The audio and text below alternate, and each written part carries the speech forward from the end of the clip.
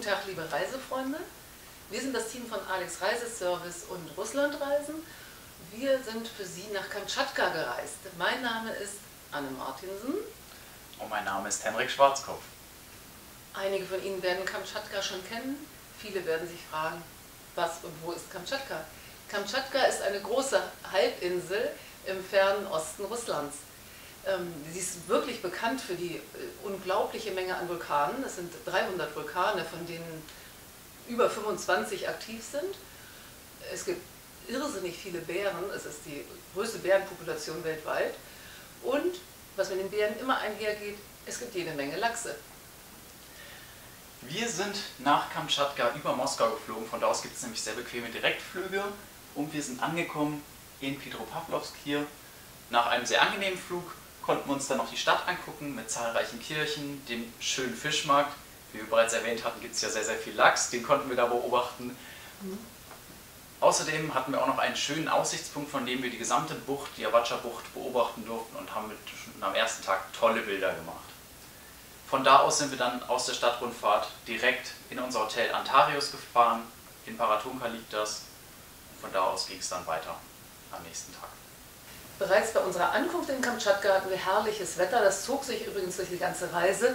Das wussten wir aber am Anfang noch nicht, sodass wir gleich am ersten Tag vor Ort einen Flug, einen Hubschrauberflug ähm, ins Tal der Geysire gebucht haben. Das Tal der Geysire befindet sich hier oben und wir waren ja in Paratunka.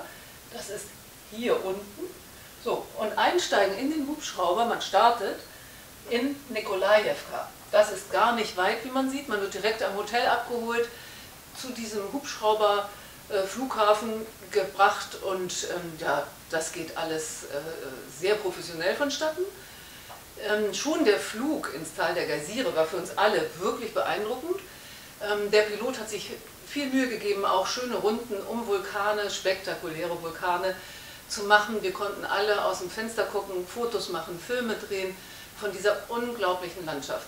Geysire, rauchende Vulkane, äh, Lavaflüsse, ähm, dann aber auch immer abwechselnd mit grünen Landschaften. Also das war schon sehr, sehr spektakulär. Wir hatten dann eine erste Zwischenlandung an der Caldera Uson. Das ist schon, dort sieht man ein großes Becken, äh, ja eigentlich heißen Wassers, was man auch daran erkennt, dass da immer Wolken aufsteigen über diesem Wasser.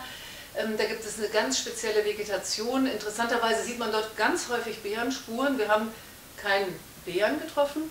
Die Spuren haben wir gesehen. Die halten sich dort sehr gerne auf. Ähm, hatten einen wunderbaren Rundgang ähm, mit unserer Reiseleitung und sind dann von dort weitergeflogen ins Tal der Geysire.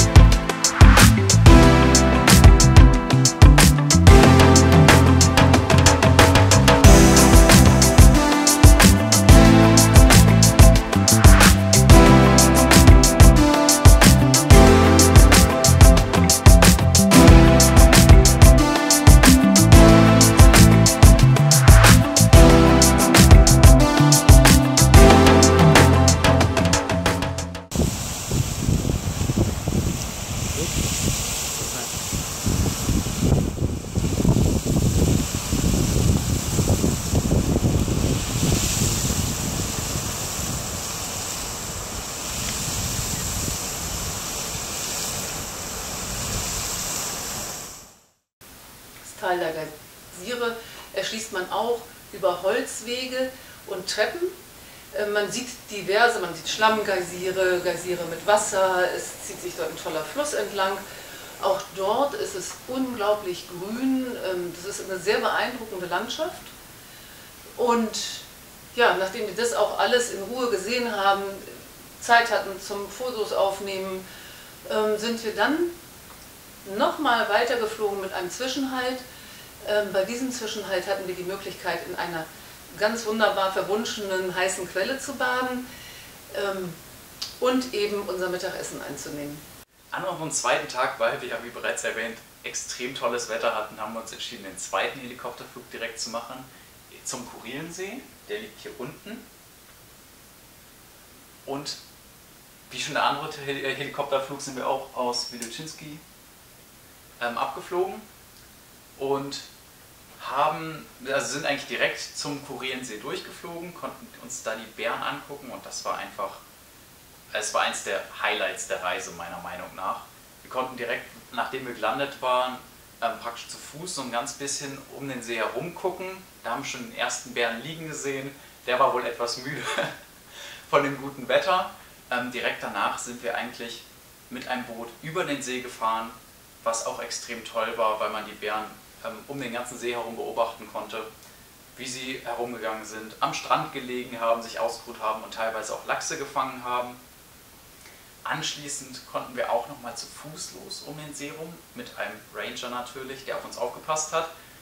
Und da haben wir einfach extrem viele Bären gesehen, was definitiv, naja, ich meine, man fährt sicherlich nach Kamtschatka, um Bären zu sehen und deswegen war das für uns ein absolutes Highlight.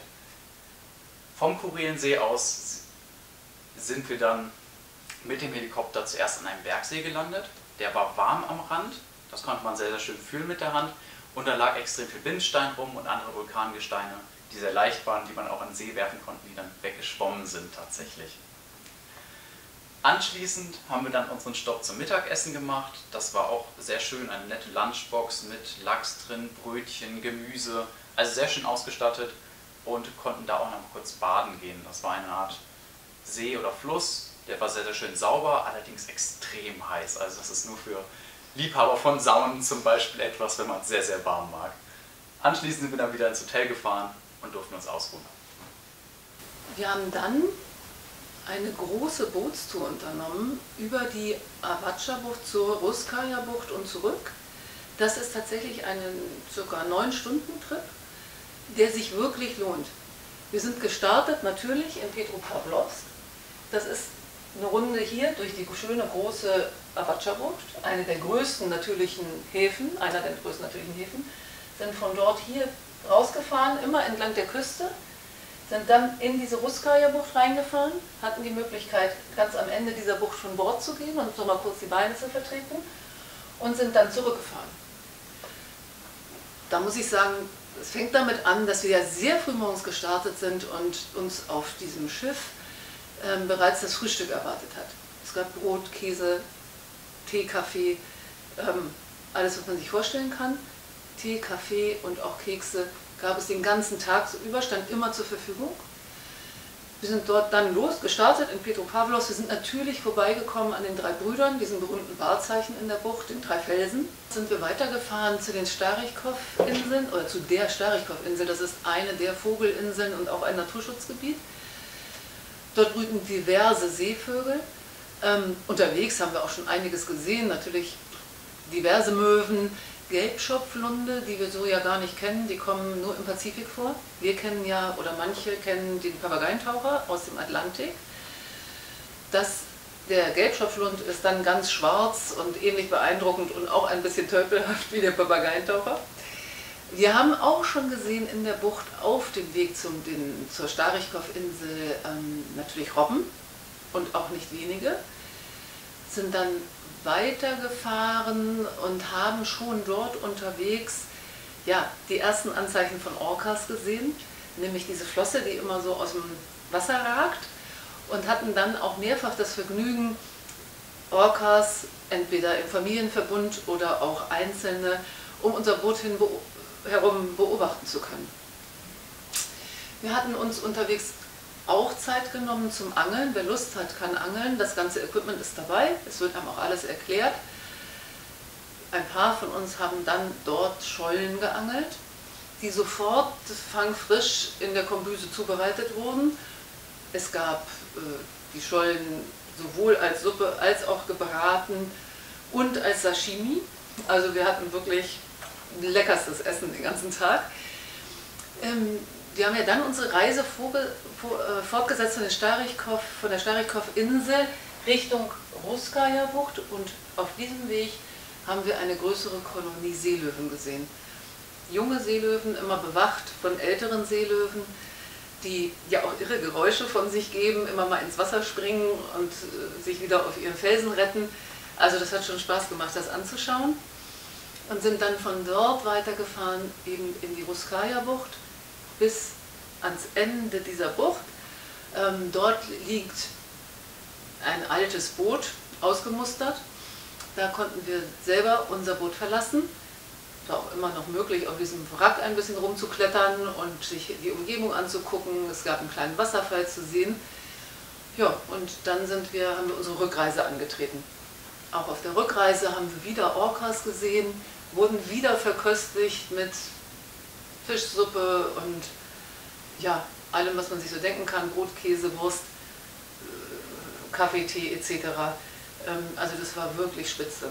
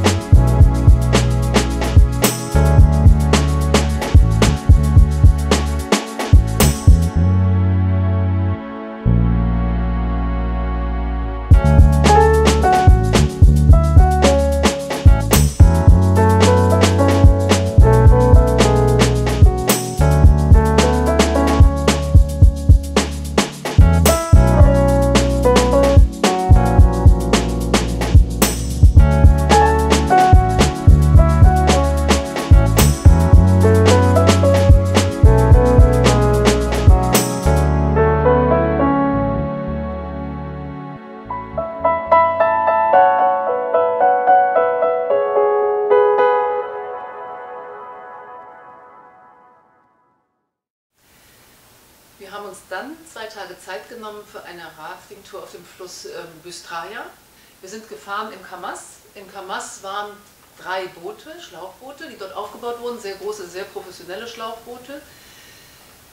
Ja, da wir ja eine Nacht übernachtet haben, war das gesamte Material, alle Zelte, auch wer brauchte Schlafsäcke, Biwakmatten, das gesamte Küchenmaterial, auch ein Küchenzelt, ähm, alles, was zum Kochen benötigt wurde, wir hatten alles dabei, inklusive in wasserdichten äh, Seesäcken unsere Rucksäcke mit unseren Dingen, die wir für diese zwei Tage benötigen. Und ja, dann wurden wir verteilt. Wir waren zwei Gruppen. Eine Gruppe die waren, glaube ich, das waren hauptsächlich äh, Russen, die dort mitgefahren sind auf dem einen Boot. Unsere Gruppe hatte das andere Boot und dann gab es eben nur das Küchenboot. Und so sind wir gestartet, diesen Fluss hinab. Am ersten Tag gab es ein paar schnellere Passagen im Fluss. Ähm, wir haben bereits am Flussufer Bären gesehen, denn auch im Fluss Bystraia gibt es natürlich jede Menge Lachse, die sieht man unterm Boot und neben dem Boot. Wenn man mal anhält, um mal wieder einen Tee und einen Kaffee zu trinken und ein paar Kekse zu essen, kann man immer Lachse beobachten. Man hat das Gefühl, man kann die mit der Hand fangen. Ähm, wir hatten uns dann einen wunderbaren Platz zum Zelten gesucht, beziehungsweise unser Bootsführer hat den gesucht, ähm, der das Boot wahnsinnig sicher diesen Fluss hinabgesteuert hat. Ähm, gegenüber von unserem Zeltplatz haben wir den ganzen Abend Bären beim Lachseangeln zugucken können. Ähm, also das war wirklich herrlich. Dann haben wir auch selber ein bisschen geangelt, auch wieder das Equipment wurde gestellt, wer nicht möchte, angelt nicht, wer möchte, hat natürlich alle Möglichkeiten. Ähm, wir haben super tolle Lachse geangelt, die auch hier wieder sofort verwertet wurden für das Essen. Die wurden gegrillt, es gab eine leckere Fischsuppe. Es, die Küchenmannschaft war die ganze Zeit ähm, dort äh, in Action. Die haben unglaublich sauber, ordentlich und mit ganz viel Liebe das Essen zubereitet. Wir hatten ja auch eine Art, ja, ein Küchenzelt, würde ich jetzt gar nicht sagen, aber so eine Art Aufenthaltszelt in groß, wo wir alle abends drinnen sitzen konnten. Ähm, da haben wir gemeinsam alle zusammengesessen. Ähm, wir haben die äh, UNO-Regeln weitergegeben und hatten wirklich viel Spaß. Ähm, hatten dann nachts im Zelt tatsächlich noch äh, auch Bären brüllen hören. Das ist schon ein interessantes Erlebnis. Ja, und sind am nächsten Tag weitergefahren. Ähm, der zweite Tag war ein relativ langes Teilstück auf dem Fluss mit relativ vielen Stromschnellen auch. Da wurde es dann auch mal ein bisschen, ja, das wurde dann einfach ein bisschen schneller auf dem Boot. Hat richtig Spaß gemacht. Ähm, und wir haben nochmal wirklich viele Bären gesehen. Äh, ja, ist vom Wasser aus ein wirklich beeindruckendes Bild. Ein so äh, großes Säugetier, das man sonst nur aus äh, irgendwelchen Büchern kennt, wirklich mal live in seinem Lebensraum zu sehen. Ja, und dann sind wir durchgefahren und sind abends an Land gegangen und von dort, wo wir angekommen sind, wieder ins Hotel gefahren.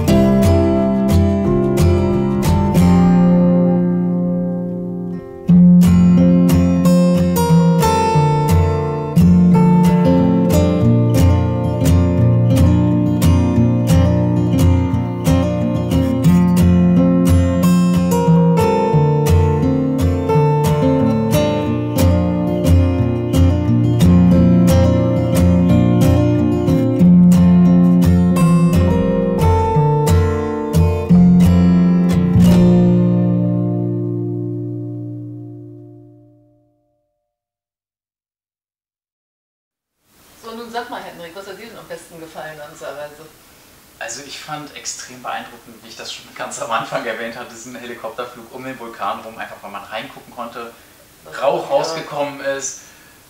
Äh, das fand ich extrem beeindruckend und ich fand die Verpflegung während der gesamten Reise einfach extrem klasse. Ich, ich mag gerne essen und mhm. deswegen ich das, fand ich das toll. Ja, was hat dir denn gut gefallen? Also ich fand auch die ganze Reise wirklich spektakulär.